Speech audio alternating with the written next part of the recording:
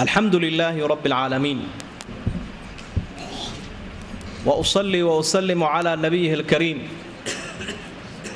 امام الحنفاء وقائد الغر المحجلين وعلى اله واصحابه وازواجه الطاهرات امهات المؤمنين وعلى التابعين لهم باحسان الى يوم الدين allahuma anfacna bima callamtana wacallimna cilma yanfacuna wazidna cilman walxamdu lilaahi calaa kulli xaal waa suuraddii siddeed iyo tobnaad ee ka mid ahayd suuradaha qur'aanka. Tafsiirkeedii baynu bilaabaynaa suuratlkahf oo qaybta hore ee awalka ini la socoto qaybta dambena aakhirka iyo awalka labadaba macnaa shan iyo tobanka jis iyo shan iyo tobanka hore iyo kuwa dambe labadaba u qaybsan. Suuraddu fadli bay leedahay ku soo arooray qur'aan macnaha gaar ahaanteeda oo axaadiidta rasuulka ku sugan sala allahu calayhi wasalam laba xadiidoo saxiixa baa wuxuu tilmaamayaa midi wuxuu xusayaa tobanka aayadoodee hore suuraddan u horreeya inay fadli dheeraada leeyihiin mid kalena wuxuu xusayaa tobanka dambe inay iyaguna fadli leeyihiin marka fadligoodu waxa weeyaan inuu ilaahay qofka kaga ilaalinaya akhriyaya dajaal min fitnati dajaal. Ka dajaal cawar la yidhaahdo fitnadiisa. Riwaayada hore abidardaa baa warinaya waa saxiix. Man xafida cashra aayaatin min awali suurati lkahfi cusiba min adajaal qofka xafida tobanka aayadood ee u horreeya suuratlkahfi ilaahay dajaal buu kaga ilaaliyaa riwaayada dambena waxay leedahay man qara'a cashra aayaatin min alkahfi cusiba min adajaal bifitnati dajaal. Qofka akhriya tobanka aayadood ee u dambeeya suuratlkahfi waxaa laga ilaaliyaa fitnada dajaal.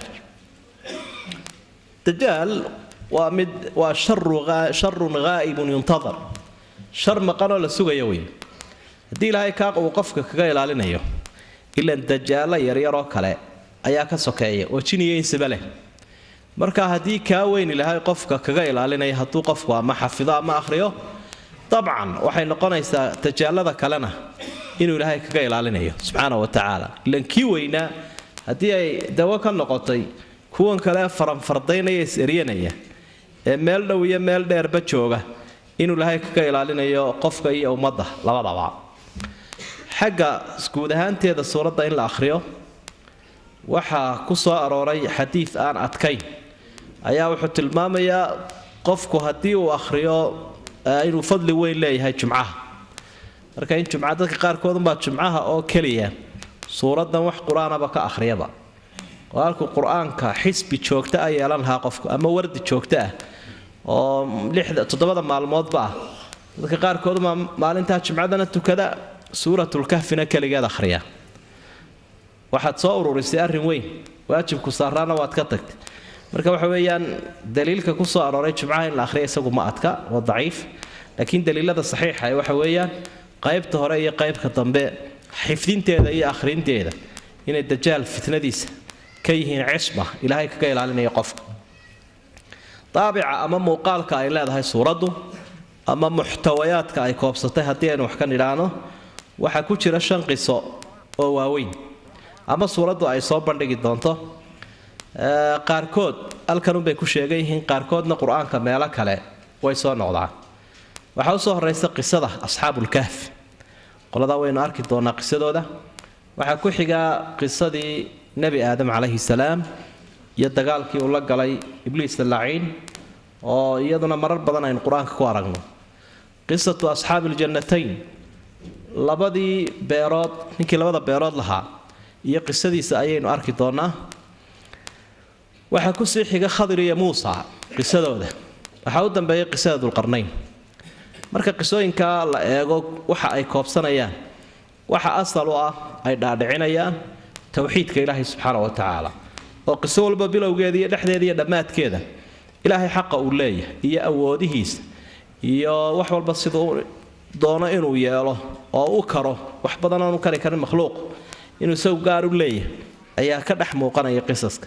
Marka towxiidkaasay suuraddu ku bilaabmaysaa towxiidkaana way ku dhammaanaysaa saynu arki doonno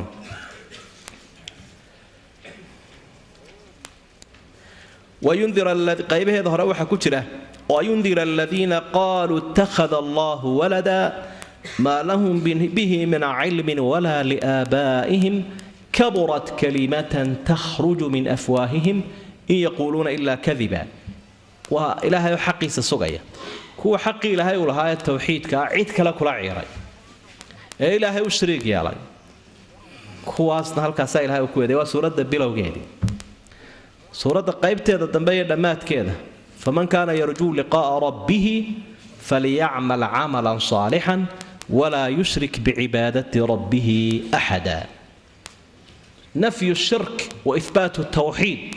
Gaalnimadoo meesha daaqada laga tuurayo la fogaynayo iyo towxiidkoo la sugayo taasaa suuraddu ay ku soo dhammaato waana qiimaha camalka waxaa qurxiya waxaa tayeeya waxaa tira u yeela camalka waa towxiidka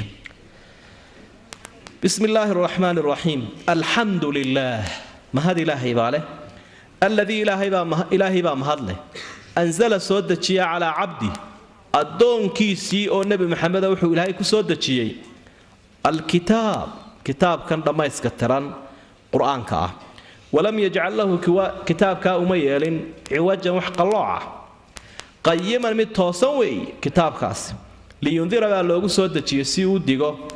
Ba'san shadiidan balaayo daran si uu uga digo. Oo min ladunhu ilaahay agtiisa ka imanaysa si uu dadka uga digo.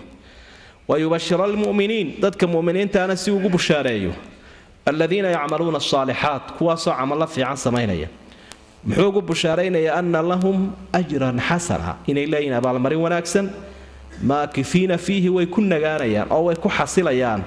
Ajrigaa wanaagsan abadan weligoodba waa janno way ku jirayaan. Wayundira aladiin kuwiina nebigu wuu digayaa. Ama kitaabkuba qaaluu yidhi ittakhada allahu waladan. Ilaahay baa ubad samaystay iyo ilmo.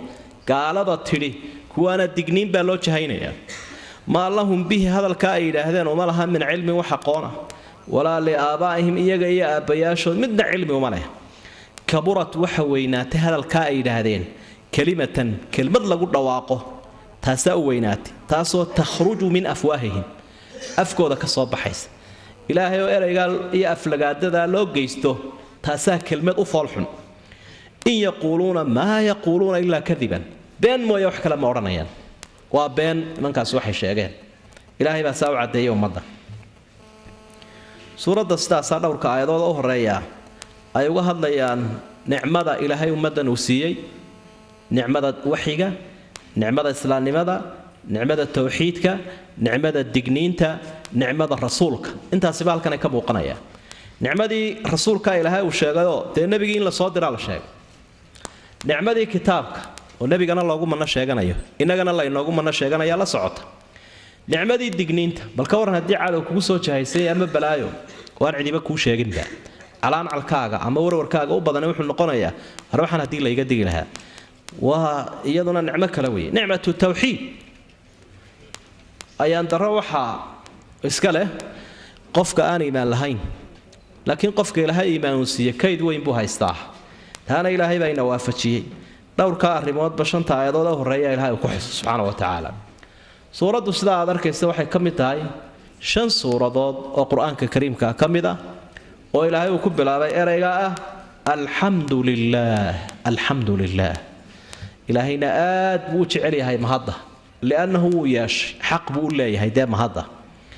Marka waynu soo marnay laba ka mid ah suuratu labadaas kuwebay ahaayeen suuratu iyo suuratu lancaam suuraddanna waa suuraddii saddexaad waa suuratu lkahf suuratu saba iyo suuratu faatir.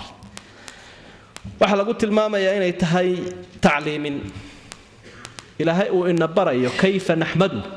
Wa kayfa nuqadisu wa kayfa nuhni calayh? Sidaynu ammaanayno sidaynu wixii aanu qalmin uga hufayno iyo sida aynugu mahadnaqayno. Taasaa ilahay uuna baraya waa dhab weeye marka had iyo jeer xamdigiisa iyo ammaantiisa la akhriyayana adigu yaanad hadalkiisaba maqlin laakiin nebi maxamed wuxuu tilmaamaya inuu kuu jawaabayo ilaahay subxaana wa tacaala. Inuu kuu jawaabayo sida suurat lfaatixa xadiidka ku soo aroray macnuu markaa waxa weeye quuluu waxaad tidhaahdaan alxamdu lilaah ilaahay baa mahadle dhaha. Ilaahay baa mahadle weliba culimmadu waxay tilmaamaan ashaa ku jirta alxamdu tusamaa alistiqraaqiya al aljinsiya lilistiqraaq waa qaybihii ashu ay lahayd ee lixda ahaa mid ka mid ahoo waxa ay tusinaysaa in wax badan ay koobsanayso. Waxa meesheeda geli kara kullu baa dhici karta baa la ydhaha meesheeda. Waa asha ina alinsaana ku jirta. Ina alinsaana la khusr. Kullu linsaani la khusr. Insaan oo dhami bani aadam oo dhami khasaaruu bartanka ugu jiraa. Yaa ka soo hadhaya ila aladiina aamanuu wacamiluu saalixaat tanna waxa weeye alxamdu kullu lxamdi haabitun lilaahi tacaala mahadoo dhan ilaahay baa iska leh. Ta ilaahay si toosa loogu mahadiyey la garay ee la yidhaha alxamdu lilaah laakiin ta qof si gaara loogu mahadnaqo makhluuqa ka mid ah. Ee la yidhaha yaa fulaan laka shukr wathanaa calayk. Ee qof lagu mahadiyo kale xataa taa isaga ayaa iska leh ilaahay subxaana wa tacaala. Waayo qofkan la yimi wanaagga lagu mahadinayo ee mahadda mutaystay waxaa ka sii mahad badan kii sidan wanaagsan u abuuray sida wanaagsanna lagu mahadinayo ilaahay u abuuray ayaa mahadda weyn leh mahadda weyn leh. Alxamdu lilah mahad ilaahay baa leh. Waa xamdun qadiimun wa xamdun xaadis. Labadaba isagaa iska leh. Xamdiga hore ah kuu naftiisa ku mahadiyey xamdigiisu waa sifooyinkiisii qowlkiisu iyo xamdiga xaadidkii addoomuhu ilaahay ay ku mahadinayaan labada qayboodba ilahay isagaa iska leh. Tabaaraka wa tacaala waa ilaaha soo dejiyey kitaabka. Markuu ilaahay sheegaya kitaabkan yuu ku soo dejiyey calaa muxamed calaa axmed magacyaasha nebiguu leeyahy midna maya. Sidaynu suuraddii hore ee tan ka horraysay suuratulisraa ku soo qaadannay ilaahay addoon buu sheegay. Taa horeynu soo marnay. Sifada loo doortay addoonnimada waa darajo uu qofku gaadho ta ugu qiimo badan weeye. Inuu addoonnimada xaqiijiyo hadduu malag yahay hadduu rasuul yahayba ammaanta u weyne waa alcubudiyatu lilaah ilahay addoon loo noqdo. Alkitaab. Kitaabka waa la iska gartay. Waa kan qur'aanka ah. Kitaab kaloo dee gaari karayaa ma jiro. Kitaab ilaahay ka yimi iyo kitaab cid kale ka yimi dee marnaba isma barbar iman karaan. Alkitaab. Ilaahay kitaabkii wuu ammaanay. Macnaheedu markaa waxa weeye nebi maxamedna waa loogu mano sheeganaya ummaddanna waa mano sheegasho. Nicmada weyne ilahay ummaddan uu siiye weye laakiin nicmadaa hadday salwagaan ay garan waayaan markaasi ayaa dara dhacaysa kitaabka ilaahay wuxuu ku sifeeyey walam yajcal lahu ciwajan qayiman muu ka dhigin kitaabkan mid qallooca wax badanoo dadku ay qoraan qallooc baa ku jira. Waa run. Bal waxaad u fiirsataa shuruucda iyo qawaaniinta iyo nidaamada bashariga ama ardiga ah ee bani aadamku uu qoro. Marka muddo la joogaba marka hore khubaraa loo saaraya. Iyo dad ijtimaaciyiin iyo dad qaanuuniyiina markaasaa la odhanaya ha la qoro waa la qoraya markaasaa la isku dayayaa fii miidaan alcamal in la camal geliyo. Markaasaa la war intaasoo qodobba ayaa socon waayo bulshadii la jaan qaadi waayo fashilmae bal dib ha loo bedelo. Marka la bedelmaaba qaar kale la fahmi waayaya kolkaasaa la odhanaya kuwa iyo kuwa maba la fahminba. Kana dhinacanuu ka daliishanayaa. Kana dhinacanuu qaanuunkaa ka daliishanayaa. Waa labadaydaba. Nin waliba dhinaciisuu ka daliishaday. Marka wuxuu u baahan yahay lifaaq. Lifaaq buu u baahan yahay bal ha la ladho kullu dalika waa ciwajun fiih. Waa qallooc ku jira wey haddaba waxaad iska fahamtay markuu ilaahay kitaabkan yidhi qallooc ma leh. Dee inuu qayim yahay baad iska fahamtay. Oo hadalku waa mafhuum iyo manduuq. Haddii manduuq la sheego wax lagu hadlo waxbaa laga hoos fahmaa. Markuu ilaahay yidhi kitaabkani qallooc ma leh waxaynu ka hoos fahmnay inuu qayim yahay uu toosan yahay. Haddana kii laga soo fahmay hoosta laga fahmay ayaa ilaahay isaga oo muuqdo oo manduuqa uu keenay lita'kiid si uu hadalka u adkeeyo markaasuu ilahay yidhi qayiman waa mid toosan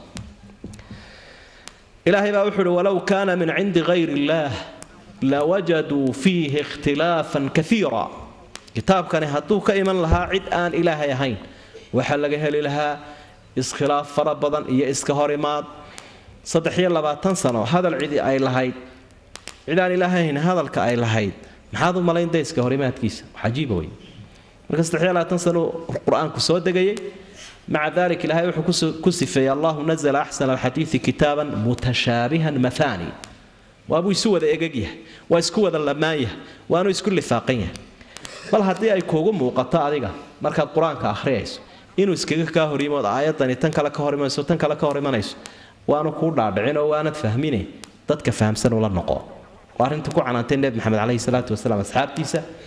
maalin maalmaha ka mida buu ku soo baxay iyada oo ay ka murmayaan qur'aanka midiba aayad daliishanayo. Aayaddani hadday sidaa tahay sawtata kalena sidaa tidhi dee. Kolkaasuu yihi laa tadribuu bacda alqur'aan. Laa tadribu alqur'aana bacdahu bacda war qur'aanka ha iska horgeynine. Qur'aanku isku dhan buu u wuu isu rumaynayaae dadka weydiiya haddii ay wax fahmi weydeen laakiin ha isu daliishaninoo ha iska horkeenina qur'aanka. Qayiman qur'aanka kariimka ah sidaynu hore ugu soo sharaxnay markaynu maraynay suurat lisraa aayaddii ku jirta ilahay uhi ina hada alqur'aana yahdii lilatii hiya aqwam. Xoogaa baynu soo sheegnay muujinaya lilatii hiya aqwam. Arrinta toosnida badan ee qur'aanku uu ku hanuuninayo. Waxaynu wax yar ka ishaari lahayn. Culimmada had iyo jeer aada u diraaseeya u dhuuxa aayaadka qur'aanka ah iyo qayimnimadiisa iyo ciwaj la'aantiisa. Mawaadiicda ay ka warramaan ama qur'aankuba uu soo bandhigayo si muuqaal ay taasi kugu samayso kitaabkan kariimka ah ee ilaahay uhi maa faradnaa filkitaabi min shay. Waxba isaga kumaan dhaafin. Markuu ilaahay leeyahay inay arrintaasi sidaa ilaahay uu sheegay tahay si ay muuqaal u samayso. Dhowr iyo toban shay oo ah waxyaabaha qur'aanku almawaadicu alatii yatakalamu canha alqur'aan waa meelaha qur'aanku aada uga warramayo. Waxaa ka mid a arkaanu islaam. Arkaanu islaam iyo arkaanu iimaan buu aada qur'aanku u adkeeyaa oo u saleeyaa waana asaaskii acmaasha waa ka ilaahay ku ammaanay nebi maxamed caleyhi salaatu wasalaam iyo asxaabta aamana arasuulu bima unzila ilayhi suurat lbaqara akhirkeeda akhir islaamku wuxuu isbarbardhigaa alislaam waljaahiliya. Qur'aanku labadaasuu isbarbardhigaya alislaam waljaahiliya. Nidaamkan samaawiga ee nebi maxamed loo soo dhiibay islaamka islaam qur'aanka iyo bal dhaqanka uu keeno islaam la yidhaahdo iyo jaahiliyadii hore. Ina diina cinda allahi alislaam markaasaa ilaahay uu muujinayaa islaamnimada iyo waxyaabaha ay keensanayso waradiitu lakum lislaama diinan waman yabtaqi kayra alislaami diinan falan yuqbala minhu afa xukma aljaahiliyati yabquun? Waa aayadahaasoo dhan waxay tilmaamayaan farqiga u dhexeeya islaam oo aynu qofku diin leeyahay samaawiyah oo ilaahay xaggiisa ka timo islaamnimada ah iyo inuu diin la'aan ku sugan yahay. Waxa qur'aanku uu ka warramaa alikhlaas fi ddiin qofku hadduu dhaqan yeelanayo dhaqankiisa in daahirkiisa iyo baatinkiisu iswaafaqsan yahay. Oo dhaqankiisa daahirkiisa ka muuqanaya ee islaamka inuu baatinkiisuna leeyahay. Oo qofku laba shakhsiyadood aanu yeelanin oo midba dee qof sida baalkan laydhaha waa jirjirooleh ee kolba midab yeesha. Qofka muslimkaahi sidaa maaha. Waxa ku jira baatinkiisa ayaa daahirkiisana ka muuqanaya ilaah iyo ummadaba uu kula dhaqmaya wuxuu qur'aanku markaa waa ka ilahay yihi wamaa umiruu ila liyacbudu allaha mukhlisiina lahu ddiin xaqiiqatan iimaan buu qur'aanku ka warramaa iimaanka dhabti waa kee? Wa min annaasi man yaquulu aamanna billahi wa bilyowmi alaakhiri wamaa hum bimuminiin. Waa qaara shahaadanayo iimaankoodii la diiday. Qaalat ilacraabu aamanna qul lam tu'minuu walaakin quuluu aslamna waa islaamnimo aan iimaan lahayn. Falaa warabbika laa yu'minuun xataa yuxakimuuka fii shajara baynahum waa ashahaado aan dhaqankii markii laga waayay la odhan kara inay ashahaado iyo imaan tahay. Marka xaqiiqat aliimaan ayaa qur'aanku oo soo bandhigayaa tilmaamo ka bixinayaa si qofku u raaco oo dadku ay u kala baxaan. Qur'aanku isagiiyo warramaya haddana qur'aanka laftiisa ilahay u dhexdiisa kaga warramaya qiimuhu ummadda u leeyahay. Waaba halkan lagu sifeeyey qur'aankiibaa inoo sheegaya qur'aanku qiimuhu leeyahay. Iyo kaalintay tahay dadka inuu u galo markaasaa akhrintiisa iyo in akhrintaa la dhagaysto loo aamuso iyo in la rumeeyo oo la barto. Iyo darajada lagu gaadhayo. Waxoo dhanba qur'aanku waa tilmaamaya. Aadaabta loo akhriyayo waratil ilqur'aana tartiila. Aadaabta loo dhagaysanayo qur'aanka. Iyo sida loogu camal falayo. Qur'aanku wuxuu ka warramaa soo bandhigaa alcilmu waalfunuun cilmiga iyo aqoonta fanniyaasha kala duwan ee ay tahay basharku inuu ku faa'iidaysto intuu ifkan ku nool yahay marka ma aha oo keliya shay dadka quluubtooda un dhiirigelinaye waa shay quluubtana dhiirigelinaya dhaqankana saxayoo toosinaya. Saa darteed baa fadliga cilmiga iyo culimada. Mid cilmi diiniyaoo samaawiya leh iyo mid cilmi maadiya leh. Labadaba ammaantooda iyo dhiirigelintooday leeyihiin markay si fiican u isticmaalayaan. Yarfac illaahu aladiina aamanuu minkum waladiina uutuu lcilma darajaat. Waqul rabbi zidnii cilma qul hal yastawi aladiina yaclamuuna waladiina laa yaclamuun aayaadkaasoo dhammi aqoonta qiimaheeda iyo dadka aqoonta leh ammaantooda ayaa uu ku soo bandhigayaa waxyigu qur'aanku wuxuu dhiirigelinayaa in caqliga la isticmaalo oo cilmiga lala akhriyo oo caqligu keligii aanu shaqaynaynin cilmiga la'aantii laakiin cilmiga iyo caqligu ay wada shaqeeyaan. Ummaduna tafkiir yeelato. Horumarkooda adduunya iyo ka aakhirada. Afalaa yatadabbaruuna alqur'aan innaha laa tacmal absaaru walaakin tacmal quluubu latii fi suduur fikriga iyo fiqiga iyo caqliga in badan buu qur'aanku ka warramaa dadkana lagu kala saaraa qur'aanku xataa wuxuu ka warramay ashicru washucaraa gabayaaga macnaa gabayga iyo suugaanta iyo mowqifka uu qur'aanku ka taagan yahay suurad baaba loogu magacdarayba suuradaha qur'aanka ka mid oo magaceeda la yidhaahda maxay suuratu shucaraa marka shayga loo yaqaano aan idhaahna ee gabayga iyo suugaanta isaga laftiisa meesha lagama saarinaya waxyaabaha nafta tarwiixa u samaynaya ama ay caatifadeeda ku yara mafsuudayso. Laakiin laba qaybood unbaa laga dhigay oo qayb diin iyo ilaahay iyo dad ugu hiilinaya iyo qayb intaaba ka hor imanaya oo midina ammaan leeyahay midina eed leeyahay. Shucarada xagga suurat shucaraa akhirkeed ka akhriyi karaysa. Addacwatu ila alcamal waxqabsi diin iyo dunyaba inay dadku waxqabsadaan ilaa samadu dahab iyo lacag soo daadin maysee oo aanay gidaara farfadhiisanin dadku meeluun soo yuurursanin addacwatu ila alcamal. Qur'aanku dadka waxqabsi buu ugu yeedhaya. Waqul icmaluu fasayara allahu camalakum warasuuluh ilaahay baa wuxuu leeyahay camal fala. Ilaahay rasuulka iyo muminiintu camalkiina waa la qiimaynaya waa la arkaya. Ilayhi yascadu lkalimu ayibu walcamalu saalixu yarfacu ilaahay xaggiisu camalka fiican ilaahaybaa aqbala. Xaggiisaana loo gudbiyaa warbixinta. Faidaa qudiyat isalaatu fantashiruu fi lardi wabtaquu min fadli illaah marka salaada la dhammeeyo meesha ha sii fadhfadhiine eh.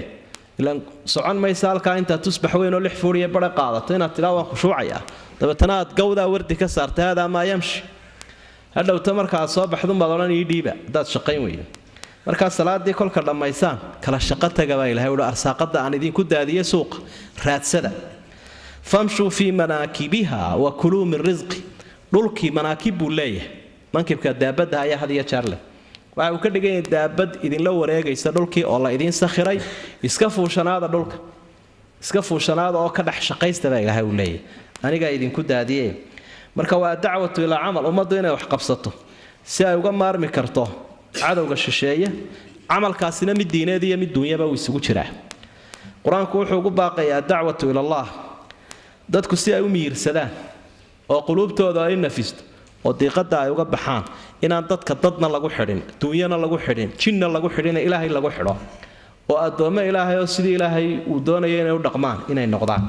Waman axsanu qawlan miman dacaa ila allahi wacamila saalixan waqaala inanii min almuslimiin waltakun minkum umma yadcuuna ila alkhayri wayamuruuna bilmacruufi wayanhawna cani lmunkar ila aakhir alaayaat. Waxa uu qur'aanku digniin weyn u soo jeediyey dadka oo dacwadda ka gaabsada wanaagga faridiisa iyo xumaanta diidideeda ka gaabsada. Eed weyn iyo cadho weyn baa dusha looga turay hadday ammaanadaa gudan waayaan. Waayo waa arrinka insaanka kala shaandhaynaya. Ina aladiina yaktumuuna maa anzala allahu min alkitaab wayashtaruuna bihi hamanan qaliila. Ulaa'ika maa yaakuluuna fii butuunihim ila annaar. Walaa yukallimuhum allahu yowma alqiyaamah walaa yusakiihim walahum cadaabun aliim marka waxaasoo balaayahi waxay ku dhaceen dadka ammaanadii aqooneed ee samaawiga ahaa gudan waayey ummadana wanaag ugu yeedhi waayey. Qur'aanku waxa uu dadka ugu baaqayaa jaanibka siyaasiga hadday dagaal noqotona inay wax iska celiyaanay gacanta sare yeeshaan. Haddii ay noqoto doodna inaan laga badinin dadka maadaamaay ummadda dawadeedii sidaan. Hadday heshiis noqotona inay iyadana la dhigaan ay la wadaan haddii maslaxadi ugu joogto ugu jirto qofka mujaahidka nafiya maalba quudhayna number kow baa laga dhigay ama raqam waaxid. Tirada dadka xagga horuu kaga jiraa intaasoo dhanba aayaadkaa ilaahay nagu furaya. Wain janaxuu lisalmi fajnax laha. Wain caaqabtum facaaqibuu bimili maa cuuqibtum bih. Laa yastawi minkum man anfaqa min qabli lfatxi waqaatal ulaa'ika acdamu darajata min aladiina anfaquu min bacdu waqaataluu wakullan wacada allahu lxusna qur'aanku waxa uu aada u dhiirinaya alcalaaqaat alinsaaniya bulshada caalamka ku wada noole inay yeeshaan calaaqaad wanaagsan oo hufan oo aada iyo aada u qiimo badan oo ilaahay u jeexay. Markaasaa dabeed ragga iyo dumarka nidaamka ay ku wada soconayaan qur'aanku aad buu uga warramay. Alusra watacadud markuu qofku mid guursanaya markuu dhowr guursanaya laga warramay. Alxamlu waridaac ubadka dhalanaya mar uur lagu sidiiya mar la jaqsiinaya xaqoodu ka warramay. Waalidka iyo waladka agoonta iyo fuqrada iyo masaakiinta. Intaasoo dhan aad buu uga warramay. Qur'aanku wuxuu aada u sharxay tandiim alcalaaqaat almaaliya. Ummaddu caalamkan marka ay ku nooshahay kudkude ma aha oo ciidda uun cuni maayaan laakiin waxba intifaacsanayaan way dhaqanayaan oo way dhisanayaan wuxuudaasi inuu u si saxan oo hufan oo aan dadka qaarkood dadka kale ku dul noolayn ama sidii gofanaha aanay jaqaynin marka nidaamka dhaqaale wuxuu u dhigay qawaacid iyo shuruuc iyo aadaab ummaddu ay ku wada socon karto. Markaasaa dabeed sida loo soo shaqaysanaya iyo sida loo bixinayo iyo aadaabta qaniga iyo faqiirka iyo xajriga iyo tafliiska alxajru watafliis goormaa qofka tasarufka maalka loo fasaxaya goormaase laga xidhaya ishhaadka markhaatigelinta is-amaahinta iyo nidaamka ay yeelanaysa qoraalkeeda aayadda u dheer ee aayatu dayn laydhaa suuratulbaqara aakhirkeeda ayaaba mowduuca ka warramaysa dadku dee kollay noolaan maayana tan way ka tegi doonaan kii dhaqday laftiisu waa laga dhaxli doonaa una dhaxalka iyo axkaamtiisa. Suuratu nisaa bilowgeedaynu ku soo marayna alcalaaqaat alqadaa'iya dadku isag joogi un maayaane. Cadho iyo caatifadba way leeyihiine. Markay dhaqdaanay dhargaan way isqardoofi doonaan. Dabeedna way iswada dakhriya way iswada diliya way iswada qabsan. Nidaamkii garsoorku qur'aanku u jeexay waarixkum baynahum bimaa anzala allah. Nebi daawuud iyo nebi sulaymaan oo wax garsooraya ari beer cunay ayaa qur'aanku uu qisadooda tusaale inoogu soo qaaday oo uu ku guulaystay garsoorkaas sidii sawaabka ahaa inuu asiibo nebi sulaymaan. Ilaahayna waa ku ammaanay fa fahamnaaha sulaymaan. Qiimaha qadaaga iyo garsoorkuu leeyahay iyo inuu cadaalad noqdo ayuu tilmaamaya alcalaaqaat asiyaasiya walcaama nidaamka xukun ayuu qur'aanku aad iyo aad u soo bandhigayaa iyo tayada uu yeelanayo. Waxaa laakiin kow uu ka dhigay asuldatu lilaah yuuriuhaa man yashaau min cibaadih awoodda u sarraysa ilaahay baa leh. Kitaabkiisa samaawiga qayimka abaa leh. Isagaana laga qaadanayaa sida dad loo hogaaminayo loo hagayo. Ulul amarkuu ka warramay dadka raciyadaabuu ka warramay nidaamka kala hagaya inuu kan yahay buu sharxay ashuura wadatashigu dhiiriyey silmiga iyo nabadgelyada. Intaa wixii ka soo horjeeda iyo mu'aamarada cadowgana aad buu qur'aanku u baraarujiyey. Ugu dambayntii qur'aanku kamuu tegin xataa dadka qaybaha caafimaadkooda caafimaadkooda jidhka iyo nidaamkooda sixad iyo inuu ka waramo waata la yidhaahdo aayad qur'aanka ka mid abaa waxay isku fuuqsatay. Ama daliilba ay u noqonaysaa qaybta caafimaadka bulshada. Ilaahay baa wuxuu uhi wakuluu washrabuu walaa tusrifuu. Cuna oo cabba oo xadgudbina. Cudurrada maanta laga cabanaya laba daweyn kari laayahayba. Waa cudurrada ka dhasha baa la yidhaahdaa dherega iyo tarafka way ka dhib badan yihiin kuwa ka dhasha faqriga iyo gaajada. Waaba sidan ilaahay u sheegay cuna oo cabba oo dee ha xadgudbina. Markii la cunay ee la cabbay ee dhan walba loo riday ee laga joojin waayey ayaa waxaa ka dhashay kolestaroolkii iyo dhiikarkii iyo macaankii markaad dhakhtarka u tagta wuxuu ku leeyahay dawo ma jirto sheekhowe la saaxiibuun la saaxiib. Intaad dhimanayso. Waaya macnaha akaluu wa sharibuu wa asrafuu intay cuneenay bay ku israafeen waa ka nabigule calayhi salaatu wasalaam maa malaa bnu aadama wicaaan sharan min badni. Qofku waxa fujaanka ama weelka ugu dhibaato badana uu buuxiya calooshiisa uun. Idkhaalu acaami cala acaami yudiru lmacida raashinkii horeoo ku jiro oo ku dambe laga dulgeliya caloosha. Calooshuunbuu dhibaabuu nebigu uhi calayhi salaatu wasalaam. Dabeedna imika dhakhtarka ugu suuq badan adduunyada waa ka ka warrama sida loogu daweynayo cunnada xanuunka xanuunka intaasoo cunnaa waa laga ilaalinayaa intaasoo cunnana waa loo isticmaalayaa tartiibta cunnada iyo miiliskaaga sidaa u habee iyo dhaytkaaga ka waxaa ka warrama kii dawada antibiotiga intoo la soo dhaafay kaasaa ugu suuq badan iminka. Waxoo dhanba aayaddana asal ah. Cumuuman wuxuunaynu uga jeednaa qofka iska odhanaya marka had iyo jeer laydhaa diinta ilaahay ha lagu dhaqmo. War kitaabku ma isagoo buurbuuran baynu qaadanaynaa kitaabku ma isagoo buurbuuran baynu ku dhaqmaynaa qaanuun baynu u baahanay number waaxid number four number idin waxaa qoraye. Macnaha kaa inuu jahli uun hayo laakiin qur'aanku qawaacidda caamkaa bixiyey waxyaabaha qaarkood si khaasaba u taabtay waxyaabaha qaarkoodna waa looga qiyaasanaya cumuumiyaadkaasay soo hoosgelayaan maa faradnaa fi lkitaabi min shayin intaasi ishaaro inoogu filan. Ilaahay baa subxaana wa tacaala waxa uu ka warramay kitaabkani mid saynis ma aha. Mid hunguriga dadka un ka warramaya ma aha. Laakiin asalkiisu waxa uu yahay inuu ilaahay addoommaha ku xidhayo badbaadadooda aakhire iyo sacaadadooda adduun iyo aakhirana ay isaga ku jirto. Markaasaa ilaahay waxau uhi liyundira ba'san shadiidan min ladunhu. Balaayaa dambaysa cadaab la idhaahdo kaasuu dadka uga digaya. Waa kii ilaahay diiday rasuulka ka sii jeedsada kaarhkaa cas baa loo taagayaa iyo digniintaa ka isagu ilaahay rasusha iyo kitaabkan ku xidhmana bushaaruu leeyahy si uu u farxo oo dee uu dhiirado oo aan u caajisin wayubashir almu'miniina aladiina yacmaluuna alصaalixaati ana lahum ajran xasana. Waxaan idiin ballanqaadaan idiin meel dhigay dadka iimaan iyo camal saalixa isku darayow ajri wanaagsan. Ajriga wanaagsani waa maxa maakifiina fiihi abadan. Waa mid lagu nagaanayo waa janna dee. Waa janno. Waaya haddaba ajrigaa wanaagsan iyo jannadaaba wax asalnimaba kuu seejinayaa jiro waa iimaanla'aanta waa shirkiga iyo gaalnimada. Kaana laga dig. Wayundira aladiina qaaluu ittakhada allahu waladan. Kuwaana wuu digaya. Kuwa ilahay intay aflagaadeeyeen afkoodu ilaahay gaadhay. Adabta daran. Ee yidhi ilaahay baa ubad samaystay. Macnaheedu wuu itaal daran yahay wey. Haddii la yidhi ubad buu samaystay. Aadamuhu u eg yahay. Waxba kama duwana. Wuxuu leeyahay baahi. Makhluuqoo kalea maadaamuu ubad u baahday oori buu leeyahay. Waxaasoo balaayaabaa ku hoos jira walad buu leeyahay. Maa lahum bihi min cilmin walaa liaabaa'ih daliiluma hayaan iyagii aabbayaashoo toona ubadka ilaahay u sugeen. Arrin caqiidoon daliil loo helinna waa ceeb weyn. Taloo miisaankeedu waa maxay? Kaburat kalimatan takhruju min afwaahihim. Kelmad af laga yidhaahdo taasaa u xun. Waa run. Qofka afkiisii xuma ilaahay uu gaadhay ee uu wax kaga sheegay taasaa u xun. Dee kan waxaa la mida kii ilaahay caayiba kii yidhi walad buu leeyahay. Ilaahaaga waxaa ku samee ka yidhi balka war waxaynu leenahay kaburat kalimatan takhruju min afwaahihim in yaquuluuna ilaa kadiba waxaanu istaahila abaalkiisa in la mariyo labada indhood laga soo saaro oo aan la sii eeganinba. Falacallaka waxaad u dhowaatay nebi maxamed oo baaqicu nafsaka inaad naftaada halaagto calaa aahaarihim raadkooda sidaad u dabaguclaynayso. In lam yu'minuu inaanay rumaynin daraaddeed bi alxadiid qur'aankan inay rumayn waayeen daraaddeed ayaad raadkoodii dabaguclaysaad ku daba xiiqtay asafan murugo daraaddeed. Adigoo ka murugaysan iimaan la'aantooda. Innaa jacalnaa waxaanu ka dhignay buu ilahay yidhi maa cala alard dhulka guudkiisa waxa saaran ziina waa bilic. La siiyey bani aadamka. Ziinadaasoo lahaa dhulka u sugnaaday.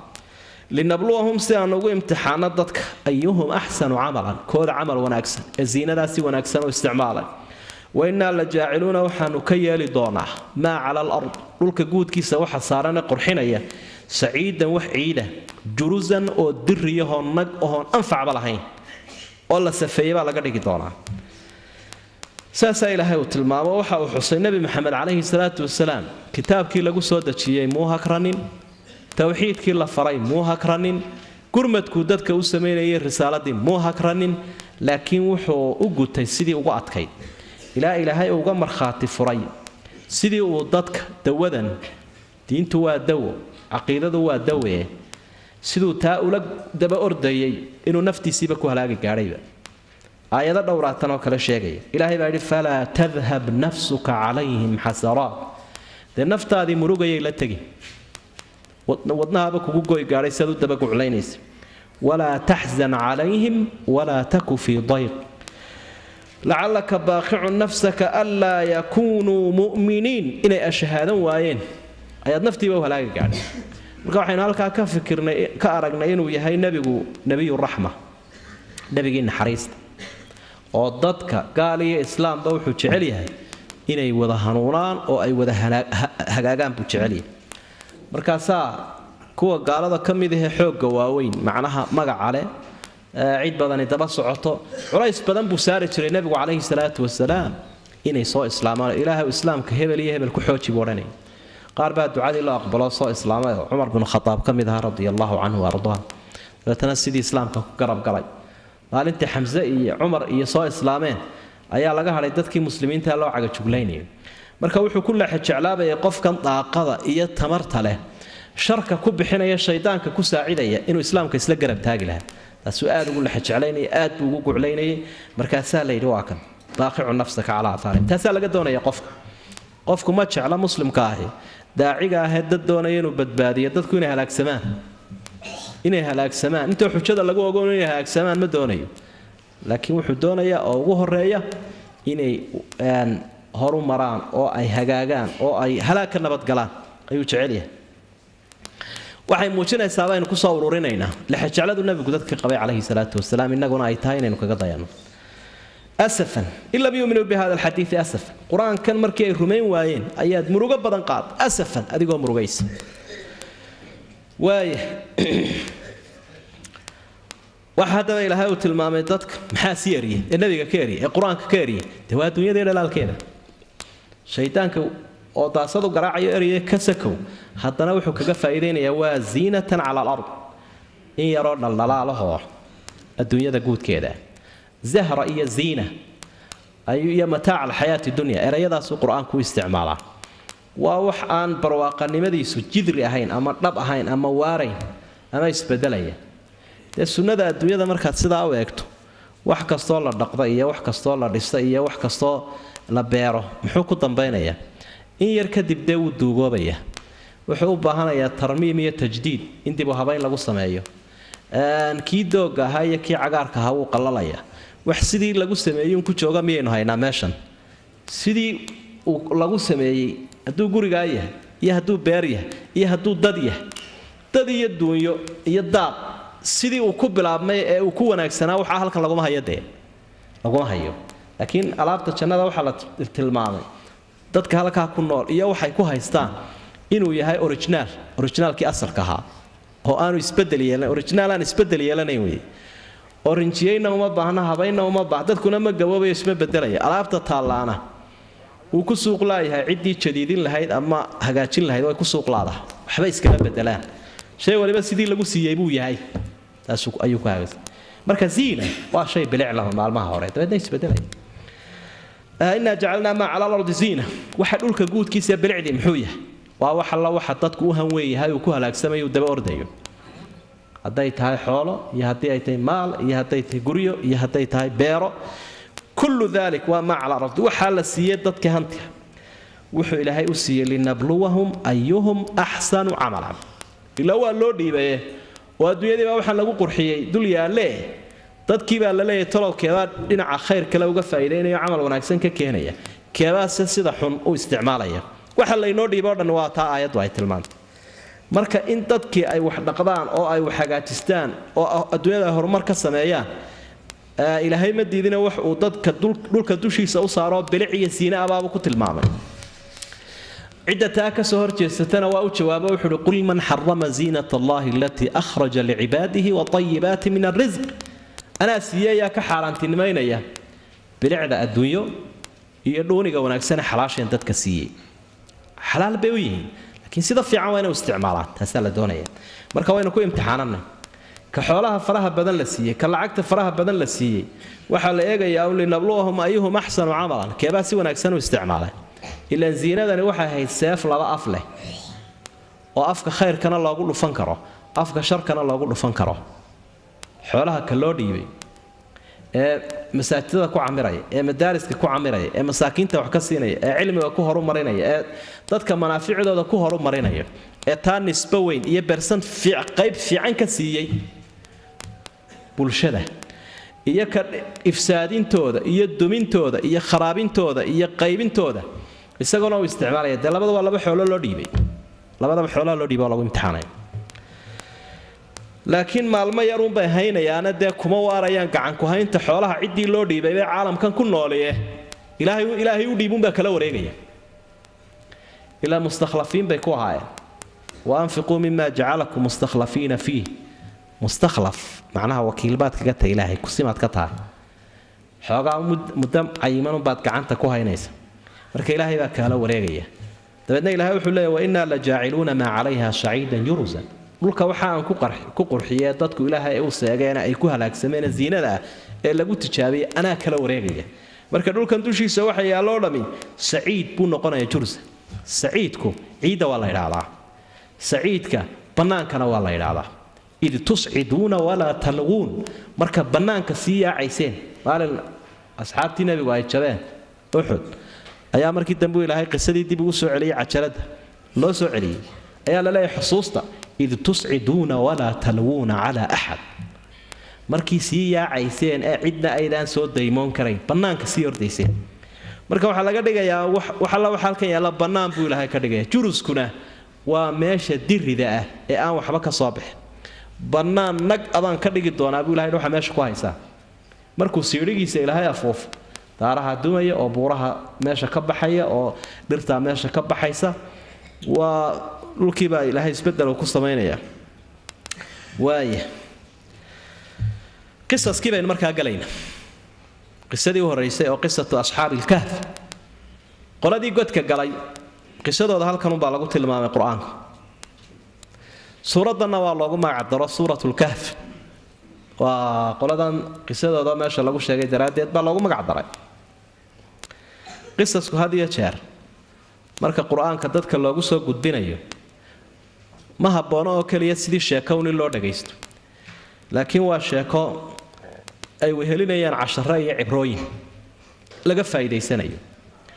Dadkana ilaahay ku tarbiyaynayo oo tarbiyada u weyn qisaska laga qaataa waayo qofka marka wax looga warramo waxaana uu ku qanca runnimadiisa waxbay ka bedelaan waxbay ka bedelaan oo wixii uu ku jira waxaa halkaa lagaga dayriye lagaga digayna wuu iskaga baxaa wixii halkaa qisadaa loo sheegay lagu ammaanayna wuxuu isku dayaa inuu maxay fuliyo ayuu isku dayaa. Marka tarbiyada iyo dhismaha ummadaha qur'aanku uu dhisayo in fara badan baa laga helaa qisaska.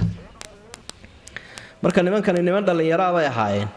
Saa daraaddeed baa mawaaqifta ay qaadanayaan iyo maqaaladooda iyo hadalkooda iyo miisaanka uu qur'aanku saaray. Intaba qofka dhallinyarada ah ayaa ay tahay ugu horraynba inuu qaato. Iyadoo ummadda islaamka oo dhan guud ahaanba ay tahay dee in ay ku dhaqmaan wixii mawaaqifta qoladan shabaabkan. Haddana qofka shaabka ah ee dhallinyarada ah wiil iyo gabadh mid kasta ha ahaadee ammaanta halkan lagu ammaanay arrimahan soo socda. Isaguna runtii waxa u qaadanayaa inay tahay wax ilaahay uu jecelyahay tahay inuu fuliyo. Ummadihii hore ka mid ahaayeen adu waxyaabo badan oo ku xeeran oo qisasahoo laga sheeg sheego oo kutubaha qaarkood qor-aan oo aan sanad lahayn way jiraan. Laakiin inta qur'aanku inoo sheegay intaasaabay naga filanba. Inay niman dhallinyaro ahaayeen wakhtigii nebi maxamed ka horreeya ummadihii horeyna ay jireen ama reer banu israa'iil ha ahaadeen ama ha ka sii horreeyeen. Ummadoodu ummad gaalaa inay ahayd maca madaxdooda iyo dadka xukumaya dad gaalaa inay ahaayeen la isku dayay dadkan in lagu qasbo diintii kufriga ee dadkoodu ay haysteen iyaguna intay is urursadeen inay arrintaa ka dhiidhiyeen ay diideen.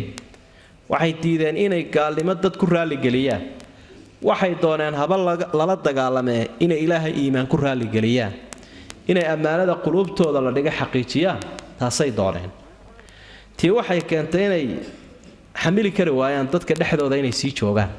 Dabeetana cusla ayay galeen. Meel gaara bay u baxeen. Godkan qur'aanku uu sheegay ayay galeen. Kahfi iyo khaar baa kala jira. Kahfigu waa godka weyn ee sida aqaladoo kale loo galo. Qaarkuna waa godka yar ee kooban ee qof iyo labiyo saddex ay geli karaan. Labaduba laakiin buuraha ayay ka samaysan yihiin. God kahfiga iyo qaarka labaduba waa god la galo oo buurta una.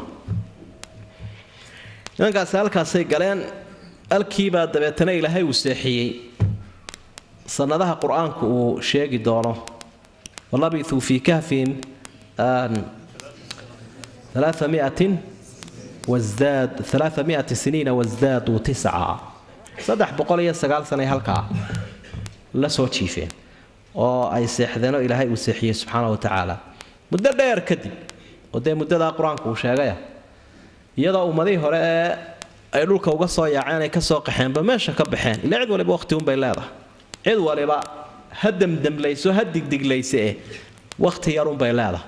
Kuwii meesha loo fadhiyi waayadoo wakhtigoodii tego qaar kale joogaan ayaa ilaahay uu soo toosiyey si uu dadkan wuxuu tusoo casharo laga qaato oo ilaa inagu aynu durus iyo casharo uga helo. Markii dabeedna dadkii uu arkee wakhtigoodii uu dhammaadayna saasaa ilaahay uu ku socodsiiyey. Marka waxaa meesha ay ahayd meeshaas. Nasku ma cayimin. Nimankaa magacyadoodii ma sheegin.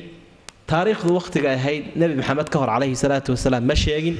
Intanoo dhan haddii maslaxadii ay ku jirta iyo faa'iida qur'aanku kama tageen. Ila ilaahay dadku u faa'iideynaya laakiin inta faa'iidada iyo nuxur kale waa intan. Halkan ilaahay uu ku saafsaafay ee uu ku cadcadeeyey.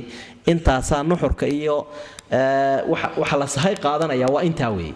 Ay tahay inaynu aada ugu fiirsanno am xasibt ma waxaad u malaysay nebi maxamedow nebi maxamedna waa la weydiiyey calayhi salaatu wasalaam inkastoo suuraddu ay cahdigii maka soo degtay haddana markay xaggaa u safraan madiine qolada quraysheed yuhuud baa wax ku soo akhriyi jiray oo ku soo afuufi jiray. Miyuu idinla joogaa ninkii soo baxay ee maxamed sheegtay. Haa wuu lala joogaa. Kaa weydiiyo kaa weydiiyo kaa weydiiyo kaa weydiiyo. Marka qisadan iyo qisooyinka soo socda qaarkoodba su'aalo la soo faray bay ahaa nimankii quraysheed oo yuhuuddu ay soo fareen. Si hal xidhaaleh iyo caqabad lagu hor joogsado nebiga looga dhigo calayhi salaatu wasalaam marka la weydiiyana ilaahay baa ka xilqaadaya rasuulka calayhi salaatu wasalaam jawaabta. Markaasaa la dhiibayay am xasibta ma waxaad u malaysay nebi maxamedow anna asxaaba alkahf qoladii godka galay waraqiim iyo looxii ay siteena magacyadoodu ay ku qornaayeen kaanuu inay ahaayeen min aayaatina iyaga oo ka mid ah cajaban wax lala yaabo. Markii lagu weydiiyey waxaad arrintaa u aragtay inay tahay wax cajab leh. Ilaahay baa laakiin kaaga jawaabay. Id wakhti xus nebi maxamedow awal fityatu nimankaa dhallinyarada ahi ay tegeen ila alkahfi godkii caanka ahaa ee ay degeen. Fa qaaluu waxay yidhaahdeen arrinkoodii waxay ka bilaabeen duco. Rabbanaa yaa rabbanaa ilaahayagiyow aatinaa min ladunka raxma xaggaaga naga sii naxariis. Naxariisunbaa lagu nabadgeli karaaye wahayi lanaa waxaad noo diyaarisaa ood isugu kaaya hagaajisaa min amrinaa iyadoo arrimaha iyaga ay ka mid yihiin rashadan hanuun. Ilaahayowna hagaaji. Ka soo dhexbaxnay meeshii aanu joognee rashad ilaahw sidasan nagu hanuuni. Fadarabnaa ilaahay ducadoodii waa u aqbalay oo wuxuu ihi fadarabnaa waxaanu yeelnay calaa aadaanihim dhegahoodii annowm aw ilxijaab dhegahoodii waxaanu saarnay wax maqalka ka xanibay. Ama fadarabnaa calaa aadaanihim dhegahoodii baanu seexinay way seexdeen hurdaa dhagaha loo saaray. Filkahf godka dhexdiisii bay seexdeen. Siniina cadada sannado tirsan. Oo tiradooda qur'aanku xagga dambe uu ku sheegaya saddex boqol iyo dheeraada. Halkaasay jiifiyeen. Uma muddo dheer kadib muddadaa kadib saddex boqol iyo siyaado sano kadib bacanaahum waanu soo aakhira toosinnay waanu soo noolaynay. Linaclama si aan u ogaano dadkana ugu muujinno. Ayulxisbayni labada qolo kooda waa laba qolo wakhtigaa jooga murmaya. Labada qolo kooda axsaa koobay limaa labithuu muddadii ay nagaayeen amadan xagga tira ahaan muddadii ay nagaayeen halkan bal cidda qiyaasi karta ee garan karta. Qaar yidhaahda war wakhti horey ahaayeen iyo qaar yidhahda imikay ahaayeen si dadka cuquushooda iyo garaadkooda iyo miisaankooda loo tijaabiyo iyo mawaaqifta ka qaadanayaan nimankan. Waaya haddii lagu su'aalay nebi maxamed oo asxaabulkahf arrintoodii waxaad u malaysay inay tahay cajaban inay aayadaha ilaahay la yaab kale ka mid tahay awoodaha awoodda ilaahay muujinaya taasaad u malaysa waanay tahay ficla marka asxaabulkahfi waa qoladii godka galay raqiimkana macnayaal badan baa lagu fasiray. Waxaad se moodaa culimmada tafsiirku inay u badan yihiin maadaama raqmigu uu ahaa qoraalka iyo kitaabada. Raqiimkuna waxa weeyaan kitaabkii la qoray marquum. Marquumun fiih. Waa looxii lagu qoray asxaabulkahfi magacyaashooda oo isaguna meesha u yaalay. Iyaba la yaabbay lahay. Iyagii iyo qoraalkoodiiba muddada intaa la-eg ayuu halkan yaallo aan waxba iska bedelin ilaahay baa markaa qisadoodii wax ka tilmaamo wuxuu ihi niman dhallinyaraa bay haayeenoo god galay alfitya. Waa qofku marka uu ugu cimrigiisu ugu wanaagsan yahay uu dhallinyaro xooga yahay weeye. Hadduu markaa xaqa uga faa'iideeyo iyo wixii ilaahay raalli gelinaya ammaan aad u badan buu leeyahy mowduuca waataynu xalayta ka warramaynay dadka shabaabka ah iyo waajibka la gudban iyo fursadaas qiimahay leedahay. Waxay ka bilaabeen xoogooda kamay bilaabin dhallinyaronimadooda kamay bilaabin xoole ay sitaan kamay bilaabin.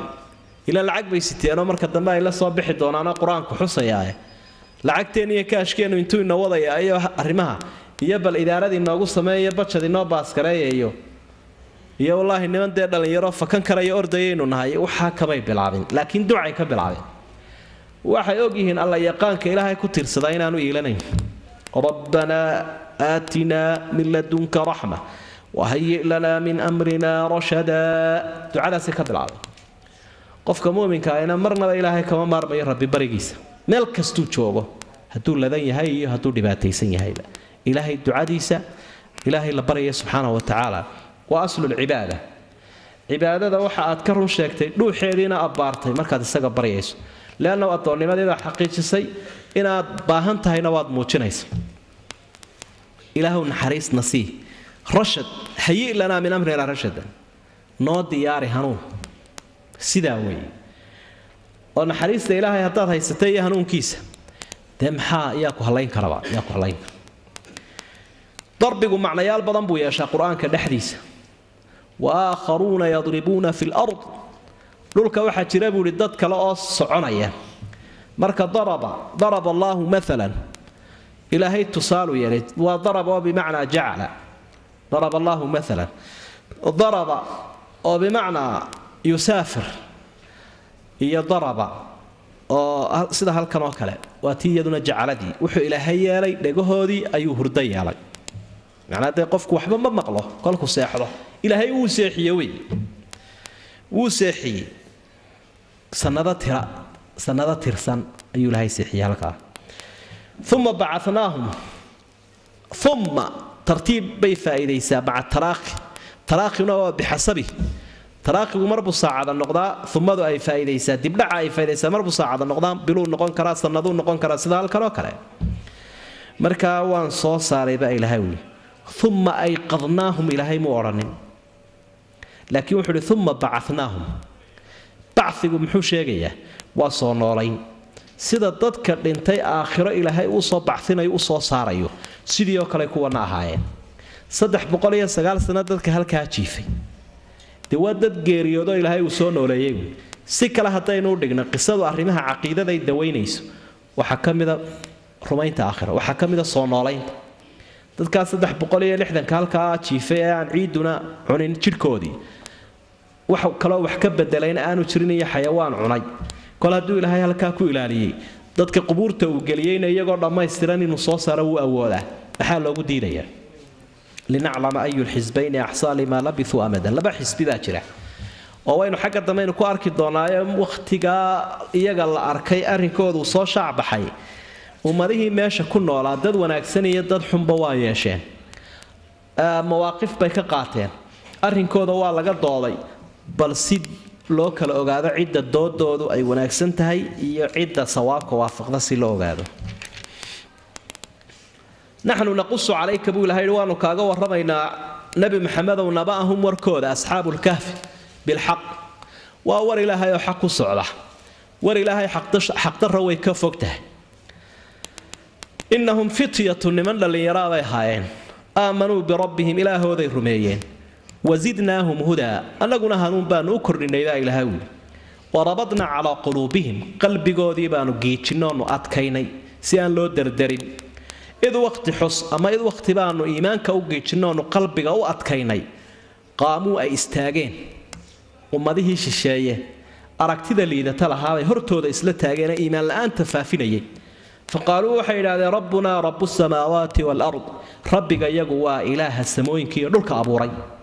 Lan nadcuwa min duunihi ilaahan. Inta ilaahay ka sokaysa annagu cid kale caabudi mayno ragow laqad qulnaa waxaanu ku dhawaaqnay idan haddaannu cid kale caabudno shadadan hadal dembiya ayaa naga soo yeedhay taa lagama yaabo way sii wadeenoo iyagiibaa isqancinaya dadkana u sheegaya waxay idhahdeen haa ulaahi kuwa noocani in hortaagani qowmunaa waa tolkayo ittakhaduu min duunihi aaliha inta ilaahay ka sokaysay ilaahyaal samaysteen ay caabudaan lowlaa ya'tuuna calayhim oo maxay u keeni waayeen caabudidda ilaahyaasha bisultaanin bayinin daliil cad may daliil cad u keenaan faman adlamu yaa ka gardarro badan bay yidhaahdeen miman iftaraa cala allaahi kadiban cidda ilaahay been ka sheegtee diin ka dhigtay ya ka dulmi badan beenaale kaasaa u liita way eedaynayaan iyagiibaa sii wada hadlay asxaabulkahfiya waxay idhahdeen waid ictasaltumuuhum waar kuwan marka ka fogaataan kuwan isdhex joogi mayne waynu ka soconaynaae ilaahay daraaddii baynu uga qaxaynaa waid ictasaltumuuhum marka gooni uga baxdaan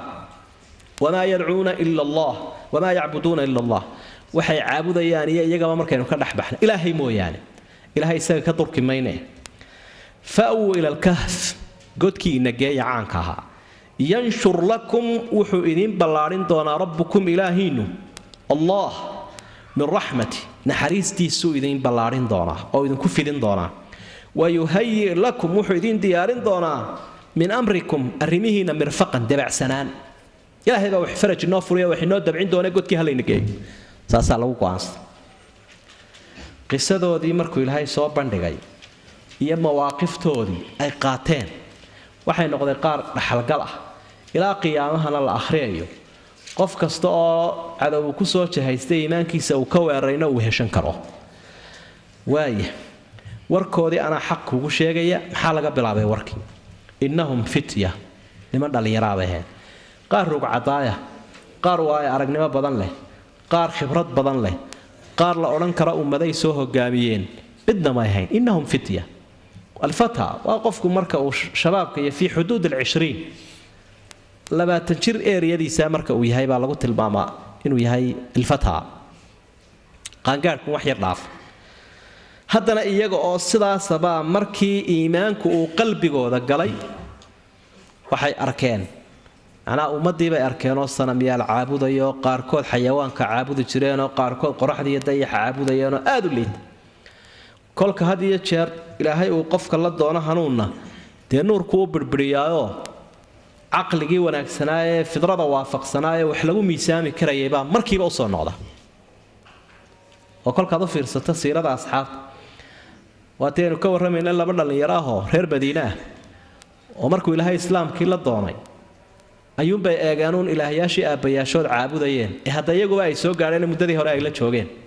Dabeedna waxay arkeenuun inay qoryo meel lagu tiirtiiriyey waa kuwii habeenba gacan ka goostay ee lug ka goostee shitay dhaxantii madiine ka shitay.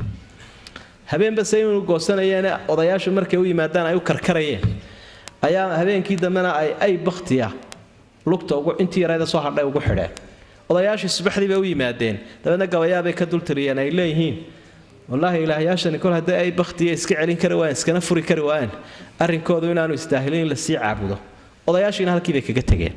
Marka taasi waxay tusinaysaa caqliga wanaagsan iyo xikmadda iyo nuurka iimaanka ayaa ilaahay qofka qalbigiisa u dejinaya. Markaasaa xikmaddu afkiisa ka soo burqanaysa qofka marka. Fitya. Waxa u horreeya ilaahay uu ku qiimeeyey xoog iyo xoolo iyo tiro iyo waxaa midna maaha. Laakiin waa maxay? Aamanuu birabbihim ilaahay bay rumeeyeen ilaahoodii idaafada eeg aamanuu birabbi maaha laakiin aamanuu birabbihim ilaahoodii iyaga abuuray ee ka mudnaa inay rumeeyaan ayay rumeeyeen marka had iyo jeer qofku uu iraadadiisa iyo caqligiisa iyo waafajinta ilaahay uu ku doorto iimaankana barakuu leeyahay iimaanku doorashadaad xaqa doorataa waxa ay leedahay inuu ilaahayna kuu siyaadiyo inuu ilaahayna kuu siyaadiyo wasidnaahum hudan. Markaasaa ilaahay hanuun u kordhiyey. Haddii qofku uu doorto iimaan dembiga iyo macsiyadana dee waa laguu sii wadi uun? Falamaa zaaquu azaaqa allahu quluubahum. Kolkay leexdeen baa lana sii duway baa ilaahay ikhtiyaarkaagan iyo doorashadaadan baa wax badani daba socda. Masiirkaaga iyo mustaqbalkaaga.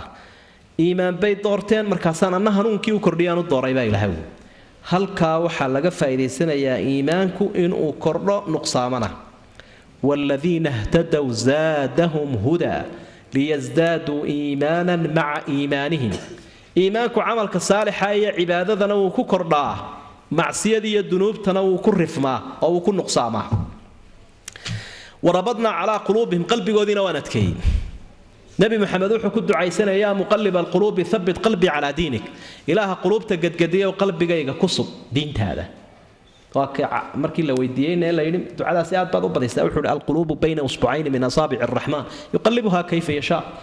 Laba faroodoo firaha ilaahay ka mida bay quluubtu u dhaxaysaayoo siduu doonaabuu u dhigaa. Si dhib yar buu qofka islaamnimada u gelin karaa si dhib yarna qofka uuga bixi karaa. Marka waxaan ku ducaysanaya ilaahay karkaarka aanu weydaarinin iyo kodada eh xaqa igu sugo weeye. Warabadna calaa quluubihim wathabbit ilaqdaam markaasay id qaamuu faqaaluu rabbunaa rabu samaawaati walard lan nadcuwa min duunihi ilaahan laqad qulnaa idan shatata. Waa doodii ay ka jeediyeen ummadii ka hortimi waa ummad acyaanteedii iyo hogaamintii iyo madaxdii iyo raciyadii madax iyo minjawaa loo wada taagany arrinama yaroo ibtilaysan baa soo baxaye bal arrinkooda ha la gale ummadda hor keena. Sidii dee mar walba dhaqanku yahay. Araahi soo baxday araahida. Dad irhaabiyiina baa soo baxay oo dhaqankeenii khatar ku haye bal intaanay fidinaan iska bustayn arrinkoodaana iska qabane ummadda ha la keeno sidii nebi ibraahim ba u yidhaahdeen oo ninkii sanamyaasha jajabiyey. Faatuu bihi calaa acyuni nnaas. Dadka hortooda hala keena ninkaasi loo xaakimo. Cala almala wax cashar dadka loogu dhigay. Markii ay la soo joojiyeyna waxay dha ilaaha iyagu waa ilaaha cirka iyo dhulkaba abuuray. Waa ilaah aanu isaga un caabudayno. Waa ilaah aanaan hadal xun ku odhan karin oo shatadahoo dembiya ma soconaysabay marka dab ha hindhiseen sidaasunbuu isula hortaagay nebi muuse iyo nebi haaruuna waa kelmadihii ay fircoon ka hor yidhaahdeen oo kale.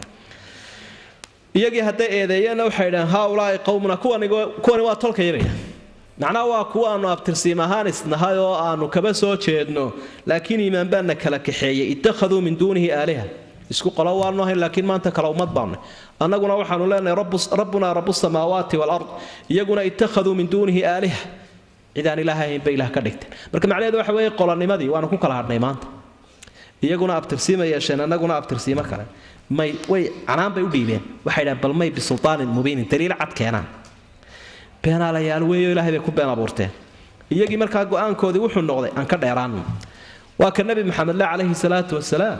Aakhiru zamaanka waxaa iman doona wakhti oo xoolaha ugu qiimo badan xoolaha muuminka uu noqonayo xooga adhiya oo intuu diintiisa iyo isagoo la cararaya iimaankiisa meelaha iskaga dhaqdo isagoo waajibkana ka bixinaya. Marka meel waliba fasahaday iimaankii lagu soo duulo.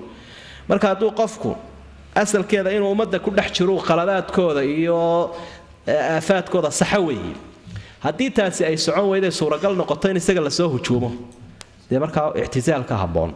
Asalkeeda ikhtilaad iyo ictisaal in ummadda lagu dhex jiroo la saxo ayaa saxa laakiin haddii ay noqoto qofku inuu waxna sixi kari waayo isagiina weerarba lagu noqdo inuu ictisaal sameeyo. Ayaa habboon marka. Waa ictisaalku sameeyey nebi maxamed calayhi salaatu wasalaam waqtigii waxyiga ilaahay uu doonay inuu ku soo dejiyo. Kolkaa waxay yidhahdeen faawuu ilalkahfi godka gala.